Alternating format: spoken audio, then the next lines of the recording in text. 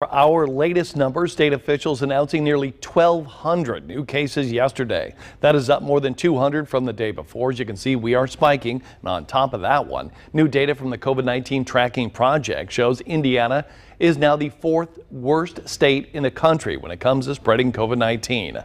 A health director at Regenstrief saying that having Labor Day events, students returning to school, and people going back to normal, the activities could be to blame. Doctors urge Hoosiers and health officials to stay vigilant during this pandemic. I do think that potentially we are moving ahead maybe a little bit sooner than what we should have. I think that people really do need to continue to be vigilant even though we're in stage five.